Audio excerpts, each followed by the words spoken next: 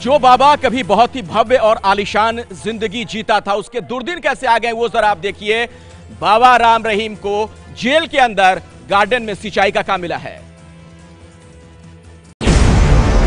महलों में रहने वाला राम रहीम। रूबरू नाइट से करोड़ों रुपए जुटाने वाला राम रहीम। रात में फूल पार्टियाँ करने वाला राम रहीम। जाम से लोगों को ठीक करने का दावा करने वाला राम रहीम दिलाते हैं तो सबसे पहले उस ओम हरी अल्लाह गौड़ खुदा मालिक के नाम की जिसने इस सारी सृष्टि को बनाया है। अब जेल की सलाखों के पीछे पौधों की सिंचाई कर रहा है। ये तस्वीरें पुरानी हैं जिसमें राम रहीम खेतों में हल चलाता और सिंचाई करता हुआ नज़र आ रहा है। पहले वो ये काम शौक के लिए करता था लेकिन बलात्कार का दोषी करार दिए जाने के बाद जेल में उसे माली का ही काम करना पड़ रहा है।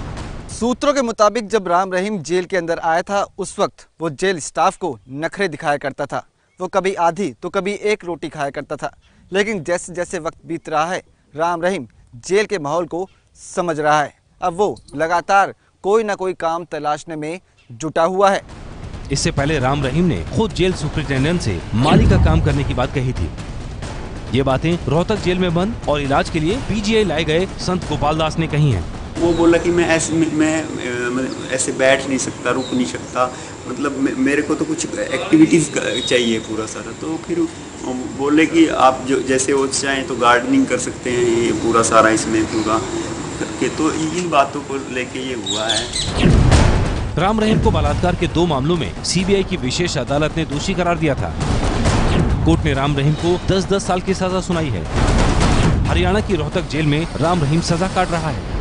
ये तो साफ़ है कि बलात्कार का दोषी गुरमीत राम रहीम आने वाले 20 सालों तक सलाखों के पीछे रहने वाला है। लेकिन जिस तरह से उसके एक एक रास निकल कर बाहर आ रहे हैं, उससे उसकी मुसीबतें और बढ़ सकती हैं। कैमरा सर मोहित के साथ विवेक शर्मा, एबीपी न्यूज़, सिरसा। ये है एबीपी न्यूज़। आपको रखे आगे।